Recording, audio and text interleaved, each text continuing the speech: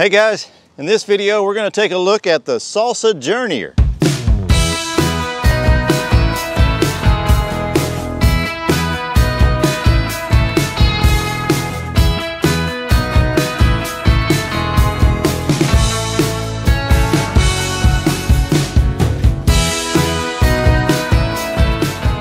Well hey guys and welcome back to the channel. I hope you're all doing well.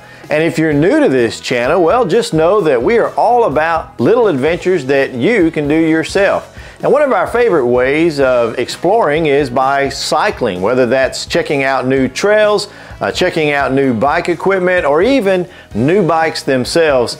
We know that there is an adventure always out there somewhere. So if that sounds like you and the things you're into, do us a favor and hit that like and subscribe button. That really helps us out a lot. And there's a whole lot of videos on our channel. Be sure and go and check those out of riding trails, uh, different adventures, and all kinds of different things, including several bike reviews. Well, today we have a brand new bike to review, but something's a little bit different about this one. You see, in the past, a lot of bikes that I have reviewed uh, were on loan to me, but this bike is here to stay. That's right, it's new bike day for me, and I have added the Salsa Journeyer to our stable. So let me tell you why I chose the Salsa Journeyer over several other bikes. It had to do with the feel that I got when I rode the bike for the first time.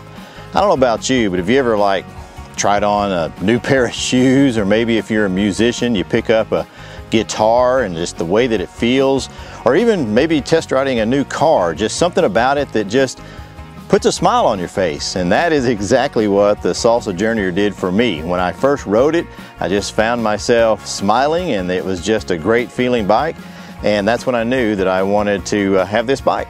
And that's exactly how Salsa intended it to be with their all new redesigned, partially re-engineered Journeyman, which is now known as the Journeyer series. They wanted to attract all types of riders to give them some options to be able to introduce them into the world of gravel bike and all-road riding. Now, the 2022 Journeyer was developed to be your all-around, all-road, uh, versatile workhorse with a whopping different 18 builds. 18 different builds available from anywhere around just a little over a $1,000 up to almost $3,000 depending on the components that you get.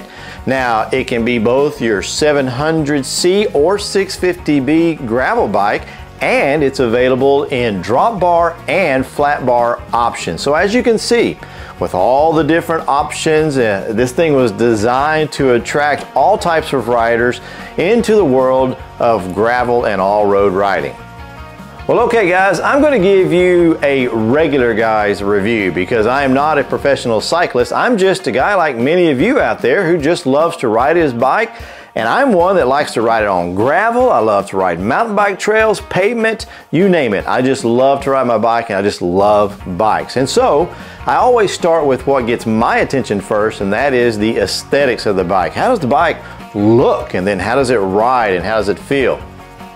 And just looking at this bike, this is a great looking bike. I mean, I just love the design of this bike, the way it's constructed, the way they've put together the triangles and the components and everything. It is just, it's a great bike. You can see it's very high quality from the welds, from all the different uh, effort that's been put into this bike. It's just an overall high quality bike that for me checks all the boxes and has all the bells and whistles you could possibly want. Now the Salsa Journeyer comes in about 12 different colors depending on the build that you get. For me, the price point of this particular bike was perfect. I was already familiar with the various components that it has, and I just like black bikes. Now Salsa starts out by using its 6061 T6 heat-treated aluminum uh, tubing for this frame that's designed specifically for this particular bike and it's coupled with their Waxwing carbon fork which gives you some more compliance on those gravel roads or rough roads. Also including in that is a more relaxed geometry which gives you that, that kind of that all-day comfort uh, and confidence in the bike so that you can really spend a lot of time in the saddle. It also has some great quality components, as we mentioned earlier, to, depending on your style of riding and what suits you best.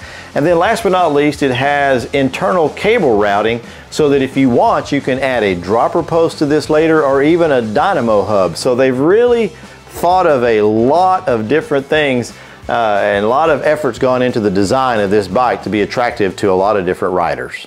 You know, the way a bike looks is one thing, but the way it rides and feels is a totally different thing. So let's get this beauty out where she belongs.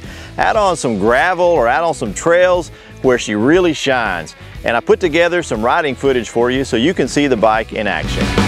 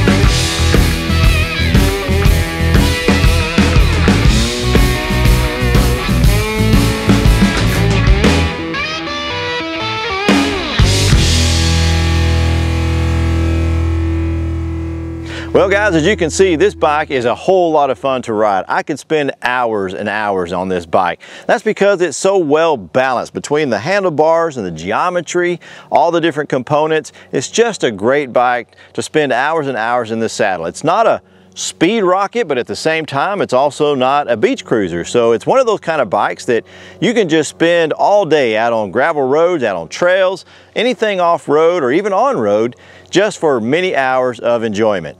And that's before even doing any upgrades. I haven't done anything to the bike yet other than add a water bottle and, and maybe my uh, tool set, but that's about it. And it's just so, so very comfortable. And part of that is because of these wide handlebars that it has, as well as uh, the ability for larger tires, uh, the relaxed geometry. But the other thing too is this bike comes with all kinds of mounts. As you can see here on the fork, we have uh, three mounts on the, on the front, but it has mounts also for fenders, for racks, uh, for top tube accessories, for your water bottles, for under cage. It's just got everything. I mean, you can really set this thing up if you wanted to go out gravel riding, if you want to go out bike packing, or even if you want to use this commuting. It's just got everything that I really like in a bike and it's so easy to upgrade and it's just an awesome bike. I don't know, what do you think? Do you think I really like this bike? you would be correct. So now let's take a look at some of the components and the features that the Salsa Journeyer has to offer. All right, the build I have is the 700C Shimano Sora, which is kind of in the middle of all the various builds. And I chose the Sora because it fit my budget and I'm already familiar with this 2x9 speed group set from other bikes that I've already owned. And so up front, this group set has the Shimano Sora R3000 front derailleur working with the Shimano MT210 46 by 30 tooth crankset and it has 170 length cranks, which is great for shorter guys like me. And then the rear derailleur is a Shimano Sora R3000 with a medium cage connected with a Shimano HD200 11 by 34 tooth 9 speed cassette. And of course, all of this is controlled by Shimano Sora R3000 shifters. And this particular build came with a KMC X9 chain. So now let's look at the brake set. This build comes with mechanical or cable actuated disc brakes, which are Tektros MD-C550 brakes that come standard with 160mm rotors. And of course, these are integrated into the Shimano Sora levers. Mechanical brakes require you to be a little bit more aggressive with the lever but I still prefer these disc brakes over rim brakes any day. And another thing that I like about this is that They're flat mounted so you can easily upgrade to 180 millimeter rotors if you really want more stopping power, which I'm probably going to be doing since I plan to use this bike for bike packing. Now the Salsa Journeyer comes with a great wheel set. I got this bike with Teravail Washburn tires that are 700C by 38mm. And so far I found these to be decent tires with pretty good grip in the hard pack, even some sand and some muddy conditions. And I've since upgraded to some Maxxis 700 by 50 tires to get a little bit more traction in softer gravel. But Salsa says you can get up to 2.4 inch tires on this bike in the 650B wheel configuration. Now this build came with WTB ST I23 700C tubeless ready rims. All you have to do is change out the stems. And they have 23 millimeter inner width, which is perfect for today's gravel tires. And all of these are mounted on a WTB Serra 12 by 100 millimeter hub in the front and a WTB HD10 12 by 142 millimeter hub in the rear. And I love that it comes with these 12 millimeter through axles, which keeps the frame nice and stiff for improved tracking, and that also translates into more consistent braking and less rotor rub than what you would get with a quick release axle. The cockpit of the Salsa Journeyer has a lot to offer and is another reason why I really love this bike, such as the Salsa Cowbell Bar designed with gravel riding in mind. It features a 12 degree flare and a 12 degree drop angle that puts your hands and wrists and arms in a very natural and comfortable position. And I love this bar and this particular one is 440 millimeters wide which varies depending on the frame size. But whether I'm ascending or descending, plowing through sand, or even single track, it's just wide enough that I always feel in control and confident when handling this bike. This bike also comes with a WTB Volt saddle with steel rails mounted on Salsa's 27.2 by 350 millimeter guide seat post.